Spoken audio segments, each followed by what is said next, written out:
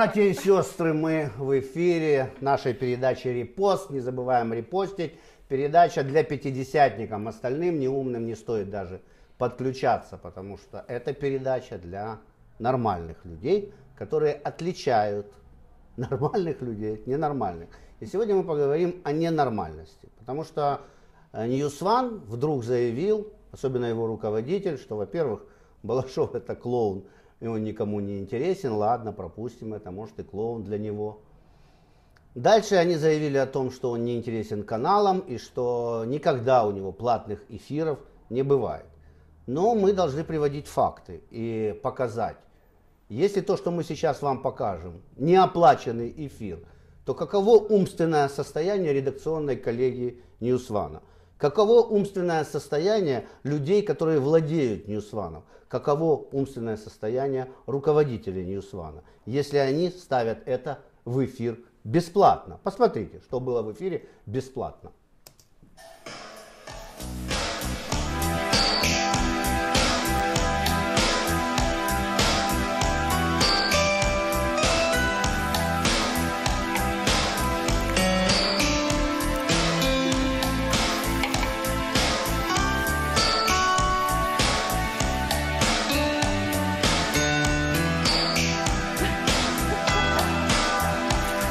Мечтаю вернуться с войны, на которой родился и рос.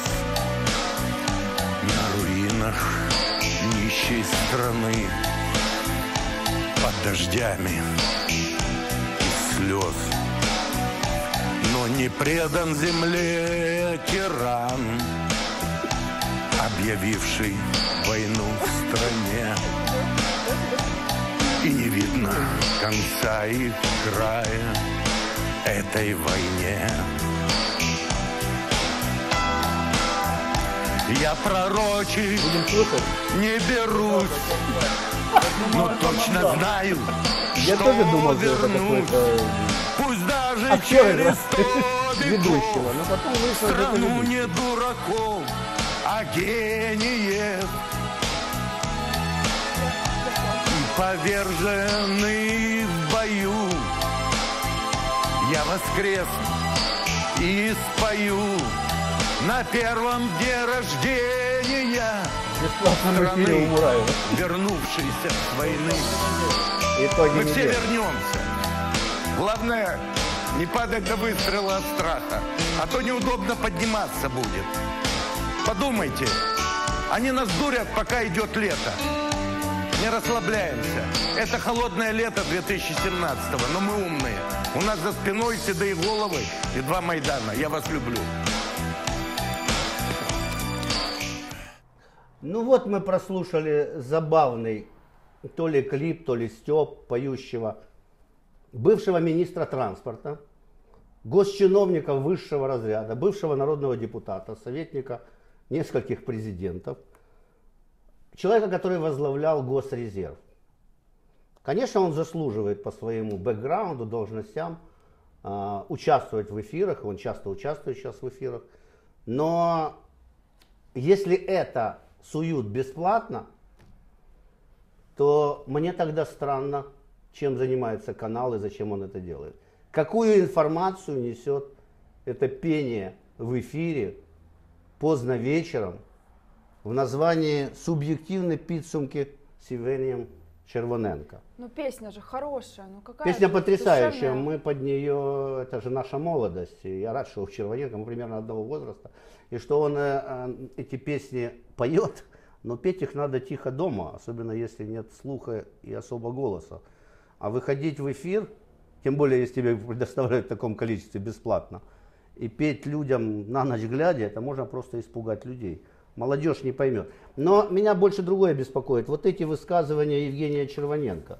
Кстати, он тоже отреагировал на нашу критику. Вместо того, чтобы сделать выводы и посоветовать, как делать дальше, вот, он заявил о том, что Балашов никому не интересен, он вообще на эфиры никогда ходить не будет, потому что мы там все заполонили. Вообще сейчас заполонили действительно эфиры, условно говоря, бывшие казнокрады борются с нынешними казнокрадами, ругая власть. Ну вот высказывание, вот сами подумайте. Поверьте, вы над тем, что я скажу. будете думать долго. Но я уже пристегнул шлем. Кресло не мое, гоночное. Бояться – это быстрый шаг к смерти. Мы буквально выписали несколько его высказываний, замечательно, потому что там перлов много. И это все, кстати, подается людям. Я к чему говорю, что мало того, что у людей мозаичный мозг, я переживаю, что люди вообще не обучаются, не читают нормальные книги, получили плохое образование. Поэтому, в общем-то, Украина находится в бедности. Но по вечерам им поют песни и делают вот такие высказывания. Я вот тут еще одно прочитаю. Э, Я вам расскажу некоторое внутреннее белье, которым меня вооружили люди из, как говорится, попсы и богемы. Оно все грязное. И таких цитат с этой передачи, которая называется «Підсумки недели», можно надергать огромное количество. Я не знаю, что из него выносят люди. И когда эти же люди говорят о том, что они не знают, что такое партия 5.10 и либертарианство, я хочу им сказать, что у партии 5.10 всегда есть смысл. Смысл моих выступлений в чем? Украинец может быть богатым. Украинец должен освободить себя от налогов. Система 5.10 единственный выход из нищеты. А когда вы будете слушать вот таких вот персонажей на телеэкранах, тем более, что если им предоставляются эти эфиры бесплатно, в чем я страшно сомневаюсь, я не понаслышке знаю, сколько стоят эфиры, от 3 до 6 тысяч, а может и больше с некоторых берут. Потому что за это бы я брал бы тройную цену Долларов? на месте Мураев. Долларов. Долларов за эфир. Э, Во всех наших средствах массовой информации только доллары. И допускаются люди, либо которые платят баснословные деньги, но еще фильтруются через редакционную коллегию, потому что их мнение должно совпадать, условно говоря, с людьми, которые оплачивают эти каналы. И на всех каналах, вот особенно вот этих вот небольших, они все платные. Либо это свои люди, которые по разнарядке должны озвучивать чью-то э, чье-то мнение. Вот Червоненко, это, судя по всему, он никому не принадлежит. Тут я его не могу сейчас никому отнести, он так самостоятельно действует, но он проплачивает, наверное, является неплохим плательщиком этих эфиров. Иначе бы, иначе я не понимаю редакционную коллегию Ньюсвана, потому что Ньюсван же не только его запускает. Если я сейчас буду говорить с точки зрения зрителя Ньюзвана, то есть человека, который не раз заходит там, в неделю, там, пугается, убегает, а с точки зрения постоянного зрителя, можно сказать, что этот человек э, очень свободный, в принципе. Он, он же не пишет себе тексты, точно так же, в принципе, как и Не, он свободный. Вы да. говорите то, что думаете, и он производит такое же впечатление. Он говорит то, что он думает. Да. И в принципе мы могли бы уважать его точку Да, зрения. могли бы, Подожди, если бы я понял, о смеяться. чем он думает. А, Не, ну ты То есть правильно говоришь. Сзади стоит за то, что Кличко. он плохо думает. Понимаешь, Сократ говорил, он был слепой, он говорил, заговори, чтобы я тебя увидел. Это удивительная фраза, и когда вот наши политики, если когда раньше они были, и они там, условно говоря, сидели министрами транспорта, а работали в госрезерве на закупках или были советниками президента, мы же не знаем, о чем они говорили. Но сейчас, когда они, их жизнь вы- заставила вылазить в эфиры для собственного пиара, мы видим, как они говорят. Но самое главное, за любыми словами и семантическим полем скрываются мысли. То есть я, когда зачитываю эти цитаты, я вижу, что э, мысли разбалансированы, и ты не понимаешь, куда он идет. Дело в том, что эти люди купили себе часы эфира. Ну, то есть э, они неделями выступают. Но когда мы говорим, а кто Червоненко? Он социалист, коммунист, фашист, э, кто он? Единственное, что я понял, что он гомофоб. Почему? Потому что он высказывается как гомофоб.